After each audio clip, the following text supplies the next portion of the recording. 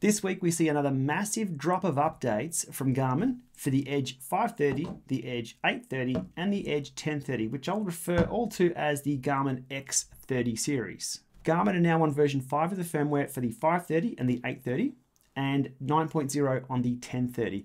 And we're seeing a consolidation here of the X30 series. And what I mean by that is the code base seems to be merging together into almost one because every time we see a bug fix or a changelog out for one, it's blindly across all three identically. There are a few changes here and there, very similar across all three though. And today is definitely no exception.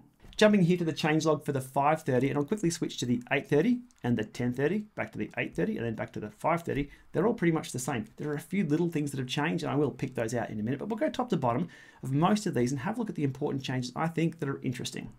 Kicking off our run through today with Connect IQ 3.1 across the board on all three. Connect IQ is Garmin's app store effectively, or ability for people to develop their own apps and things as widgets and screens and across all these units here. And the full details of Connect IQ 3.1, I'll put links below.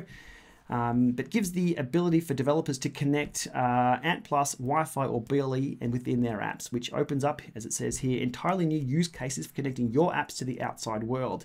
Very powerful stuff. If you've got widgets or connections or apps on here that can connect via Wi Fi, Bluetooth to the outside world, pull in more data to give you more info out in the road or indoors, that's pretty cool. I don't think we've seen that very much tapped yet. We'll see soon though, I guess, as this is now rolling out across all three devices. Next up on the list across all three is the ability to control Garmin InReach remotely. DC Rainmaker spoke about this on our podcast this week. Again, links below. Uh, InReach is Garmin's GPS unit. So if you're out of cell service, you can use this GPS unit or one of these GPS units to send messages, locations, tracking, etc. Uh, there is an associated cost with doing that. Uh, if you need it, I guess you're going to be looking into it. Again, links below, but now compatible across all of these three X30 units. Now, third on the list, and one close to my heart, is improvements to indoor cycling user experience. And I've tested this today. I'll go into it at the last part of the video. It was pretty cool.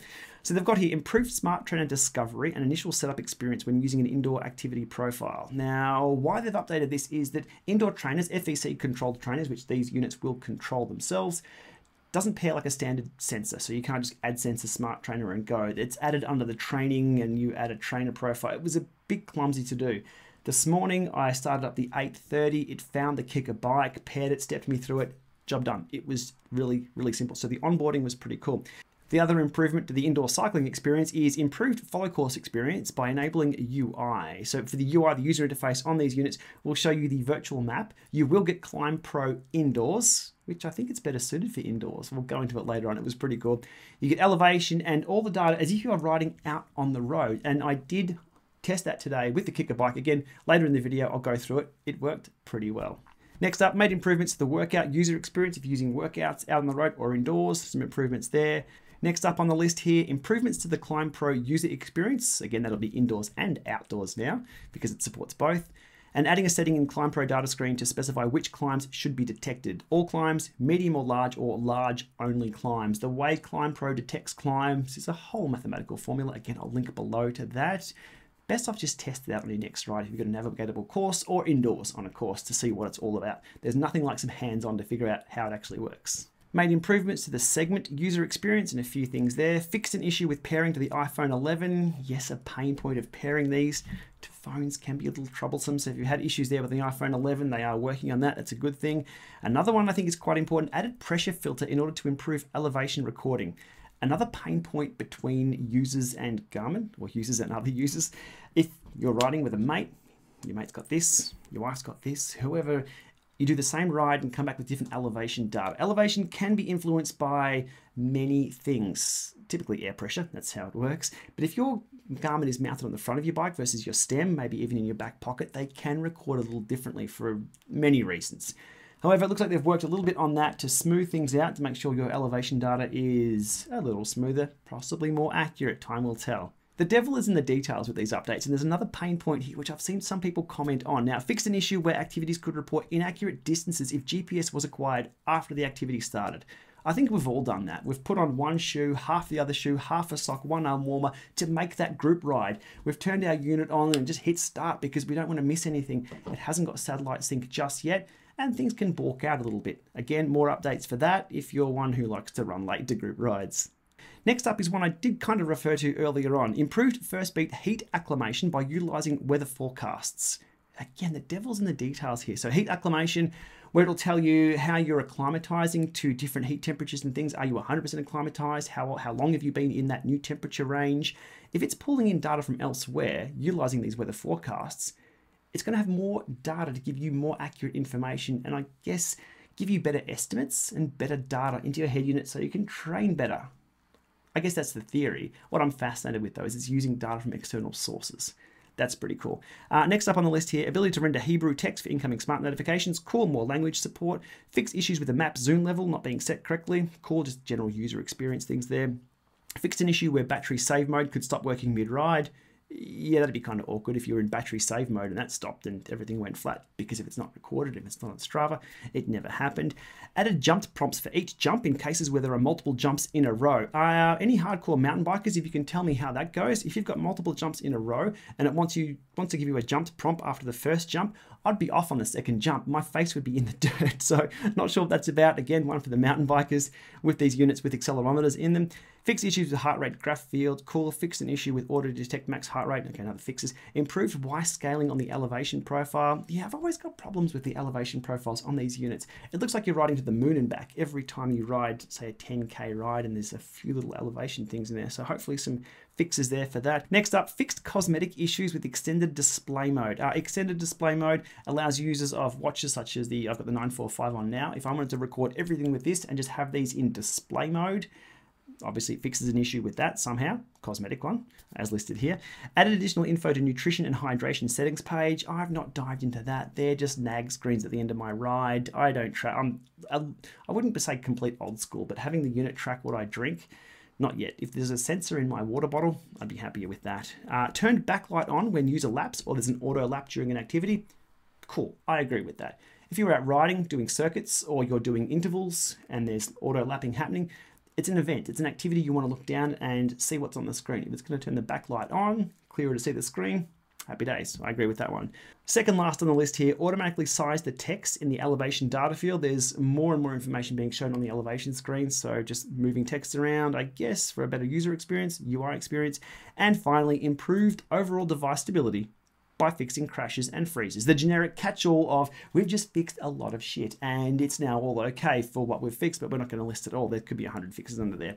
So that's the 530. That's everything top to bottom. Uh, in the 830, the difference there is in the 830 they have added directional arrows for round trip courses. That was the only thing I could find different between the 530 and the 830. And over on the 1030, the only difference I could find there was there was no uh, elevation filtering or the altimeter filtering we saw for the uh, altimeter stuff. So probably a different chipset in that one, but that's the only difference. So a massive list of updates and fixes across all three units definitely worth doing if you own any of these. And somebody did mention they upgraded to version 9 on the 1030 and said, well, I updated and turned it on, and big deal, no difference.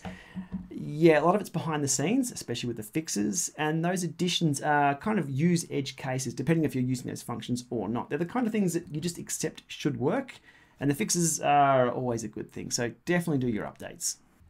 Okay, here we are in the Lama Lab pairing the 830 to the KICKR as a controllable trainer, the KICKR bike. It finds that straight away.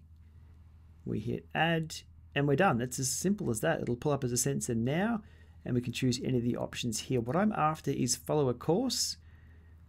Uh, there's no courses on the head unit. So I can hit create new, create from history. Let's go last Thursday's ride. I'll just call it course 00. That's fine. Boom, course created. We have a look at the details of that. Into summary. Two hours, 52 and a half kilometers. There's all my stats from the ride the other day. It's just a pretty easy ride with a mate. Looking at the map, that's the map, which included a pump track. I will have to dodge that one for this ride. We might test that another day. Elevation wise, there's the spikes. We'll do the first 45 minutes indoors. And there's the ClimbPro data. So it's picked out three climbs from the ride two, and the third climb, which goes up past the camels. There are real camels.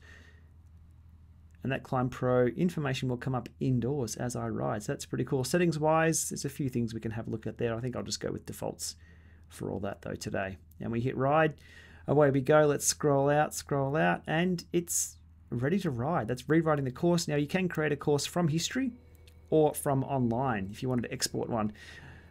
Okay, a bit of camera shake here as I'm going through town. And you can see the map there in real time and the elevation graph in real time. And I'm switching over to stills to make it a little easier on the eye here. So there's the first ClimbPro climb.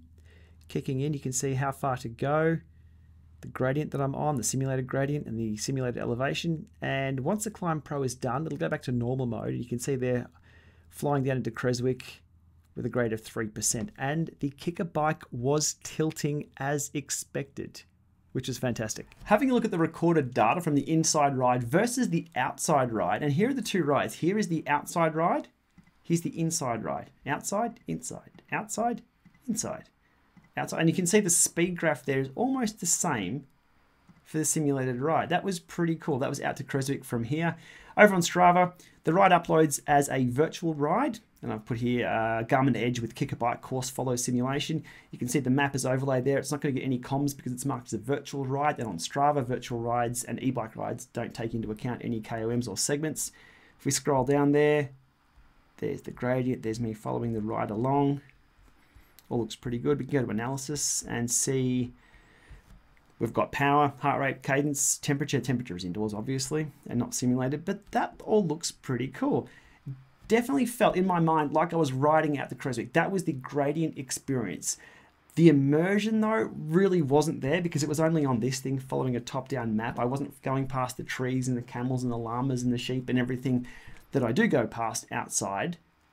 But it's a case of if I missed the bunch ride and they were doing the Creswick loop, I could load this up and do it, get the same training effect. Yes, I'm inside, I know. But it, again, if I own this and I own the bike or the smart trainer, it's free to load that up and follow it along. And the fact that I could download my ride from the other day into the exact same ride and it was seamless. That's the key I forgot. It was seamless. It just goddamn worked as it should. But I'm pretty happy that things now just work. Okay, so wrapping this one up for today, and I'm super happy that that indoor experience just worked. There were two different companies. It was Garmin, it was Wahoo, using Ant Plus FEC, an industry standard, interacting together and just working. And with the tilt as well. Things as they should. This is brilliant. This is what we should be seeing. I'm hoping what we're seeing now with a higher cadence from Garmin, with all these updates across the board and the unification of these code bases, kind of, that they're just bringing themselves up to a new level, a new standard of Garmin, which we won't go back to the old days. I've been through them all the crashes, the invalid fit files, the unpairing, the deep. There's a lot of fixes taking place. I'm just hoping they're raising their own bar and their own standards internally, in which what we're seeing as consumers coming out in these devices. It should be smooth sailing from here on in. I'm keen to see where they go in the future with newer units. This old beast is due for an update and due to get rid of the bezels, according to the community. Anyway, we'll leave it there for today. Sunday afternoon, do your updates. Have a good weekend.